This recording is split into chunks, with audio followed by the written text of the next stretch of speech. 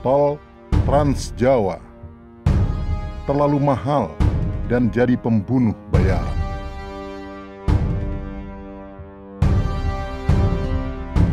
Warga masyarakat yang menggunakan jalan tol Trans Jawa mengeluhkan betapa mahalnya tarif tol Trans Jawa.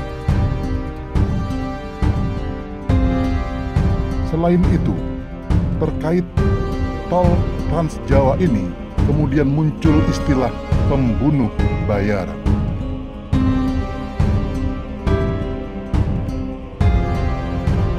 Juru bicara Badan Pemenangan Nasional Prabowo Subianto Sandiaga Uno, Dian Fatwa, menuding jalan tol yang dibangun oleh pemerintahan Presiden Joko Widodo sebagai pembunuh bayaran.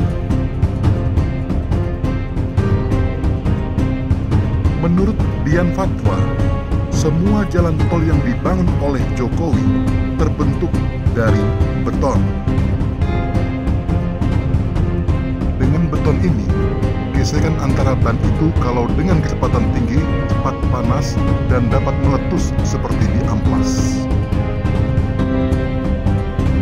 Yayasan Lembaga Konsumen Indonesia mengakui bahwa tarif tol Trans Jawa dinilai masih sangat mahal. Ketua Pengurus Harian Yayasan Lembaga Konsumen Indonesia, Tulus Abadi, mengatakan akibat dari hal ini, volume traffic di jalan tol Trans Jawa masih tampak sepi dan lengang, seperti bukan jalan tol saja, terutama selepas ruas pejagan.